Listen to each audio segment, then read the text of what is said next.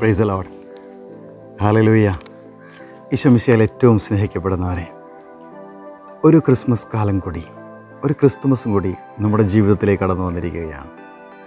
എല്ലാ വർഷവും നമ്മൾ ക്രിസ്മസ് ആഘോഷിക്കുന്നു.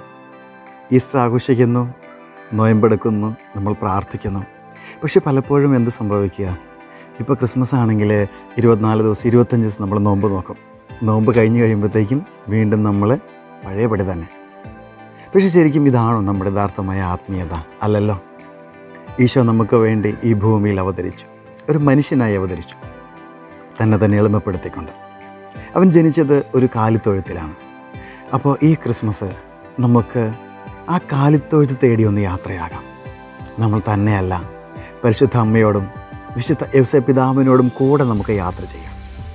അപ്പോൾ യാത്രയിൽ പരിശുദ്ധ അമ്മയും വിശുദ്ധ യവസപിതാവും അനുഭവിച്ച ക്ലേശങ്ങളുണ്ടാവും ആ ദുഃഖങ്ങളുണ്ടാവും ആ ദുരിതങ്ങളുണ്ടാകും ആ കഷ്ടപ്പെട കഷ്ടപ്പാടുകളുണ്ടാകും ഒറ്റപ്പെടുത്തലുകളും തിരസ്കരണങ്ങളും എല്ലാം ഉണ്ടാകും ഇതൊക്കെ നമ്മളും അനുഭവിക്കുന്നവരാണ്. അപ്പോൾ നമ്മുടെ ജീവിതത്തിലെ യാത്ര എന്ന് പറയുന്നത് ആ കാലിത്തൊഴുത്തിലേക്കാണ്. ആ കാലിത്തൊഴുത്തിലേക്ക് യാത്ര ചെയ്യുമ്പോൾ അവസാനം നമുക്ക് വേണ്ടി അവിടെ ഒരു പുത്രൻ ജനിക്കും. ലോകത്തിന്റെ സമാധാനത്തിന് വേണ്ടി സന്മനസ്സുള്ളവർക്ക് സമാധാനമെന്ന് ലോകം മുഴുവനിലും മാലാഖമാർ അനവരതം പാടി സ്തുതിക്കും. സ്വർഗത്തിൽ അവർ പാടി സ്തുതിക്കും. അപ്പോൾ യാത്രയിൽ നമ്മളൊരു പക്ഷേ പുൽക്കൂടുകളും കാലിത്തൊഴുത്തുകളും എല്ലാം ഒരുക്കിയിട്ടുണ്ടാവും. അങ്ങനെ ഒരുക്കിയിട്ടുണ്ടെങ്കിൽ നമുക്കതെല്ലാം ഒന്ന് മാറ്റിവെക്കാം അതെല്ലാം നമുക്കൊന്ന് പൊളിച്ച് കളയാം അല്ലേ?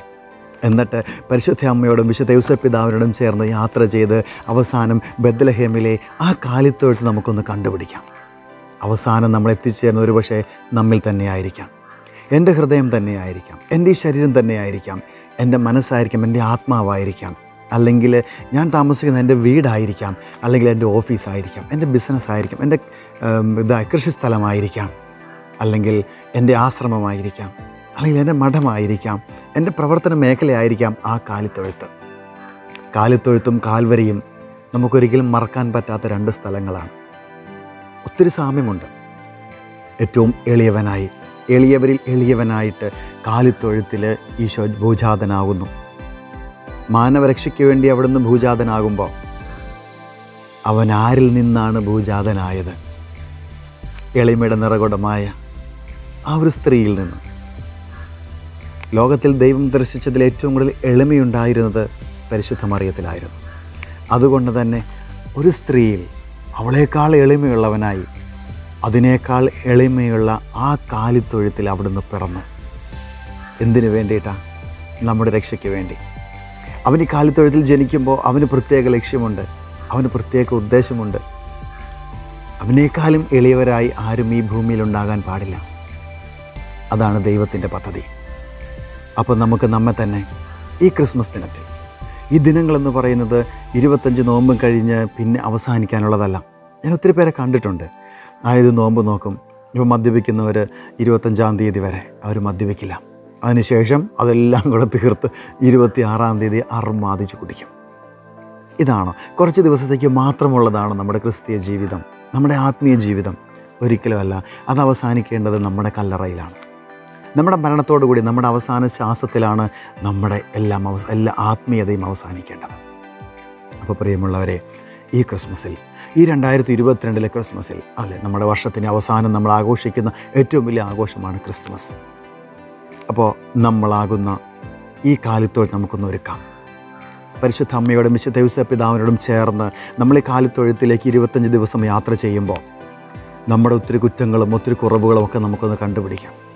അതോടൊപ്പം ആ കുറവുകളെല്ലാം നിറവുകളാക്കിക്കൊണ്ട് നമുക്ക് എങ്ങനെ മറ്റുള്ളവരുടെ ജീവിതത്തിലും ക്രിസ്തുവിനെ ജനിപ്പിക്കാം. അവരുടെ ജീവിതത്തിലും കാലിത്തൊഴുത്തിൽ കണ്ടെത്താം. മണിമാളികകൾ കണ്ടെത്താൻ നമുക്ക് ഒത്തിരി സാധിക്കും. പക്ഷേ കാലിത്തൊഴുത്തിൽ കണ്ടെത്താൻ നമുക്ക് സാധിക്കില്ല. നമുക്ക് ഭയങ്കര ബുദ്ധിമുട്ടാണ് അപ്പോൾ ഈ സമയം ഈ ക്രിസ്തുമസ് ഈ രണ്ടായിരത്തി ഇരുപത്തിരണ്ടിലെ ഈ ക്രിസ്തുമസ് കുറച്ച് വർഷങ്ങൾക്ക് ശേഷമാണ് നമ്മൾ ക്രിസ്തുമസ് ഇതുപോലെ ആഘോഷിക്കുക. നമുക്കും ചേർന്ന് ആ കാലിത്തൊഴുത്തിലേക്ക് പരിശുദ്ധ അമ്മയോടും വിശുദ്ധ യുസപ്പിതാമോടും കൂടെ യാത്ര ചെയ്യാം. ആ കാലിത്തൊഴുത്തിന്റെ മനോഹാരിത എന്തെന്ന് നമുക്കറിയാം. ഇവിടെ കാലിത്തൊഴുത്താണെങ്കിൽ അവിടെ കാൽവരിയാണ്. രണ്ടും തമ്മിൽ ഒത്തിരി സാദൃശ്യമുണ്ട്. കാലിത്തൊഴുത്തിൽ മൃഗങ്ങളുടെ കൂടെ അവിടുന്ന് ഭൂജാതനായെങ്കിൽ അവിടുന്ന് മരണം വരിച്ചത് മൃഗതുല്യരായ മനുഷ്യരുടെ മുൻപിലാണ്. ഒത്തിരി സാദൃശ്യങ്ങളുണ്ട് അവിടെ. അന്നത്തെ കാലത്ത് മരണത്തിന്റെ ഏറ്റവും നമുക്ക് എന്താ പറയാൻ പറ്റുക? അത്രമാത്രം അവഹേളിതനായി മരിക്കപ്പെടാവോ? അത്രമാത്രം അവഹേളിതനായി അവിടെ നിന്ന് മരിച്ചു. തന്റെ ജന്മത്തിലും എത്രമാത്രം വിനയാന്യതനായി എത്രമാത്രം അവഹേളിതനായി ജനിക്കാവോ അവിടുന്ന് ജനിച്ചു. അപ്പോൾ നമുക്ക് ഈ കാലിത്തൊഴുത്തിന്റെയും കാൽവരിയുടെയും ഇടയ്ക്കുള്ള ഒരു യാത്ര. നമുക്കും അവനോട് ചേർന്ന് യാത്ര ചെയ്യാം. വലിയൊരു യാത്രയായിരുന്നു. അപ്പോൾ നമ്മുടെ ആത്മീയ ജീവിതം വലിയൊരു യാത്രയാണ്. ക്രൈസ്തവ ജീവിതം വലിയൊരു യാത്രയാണ്.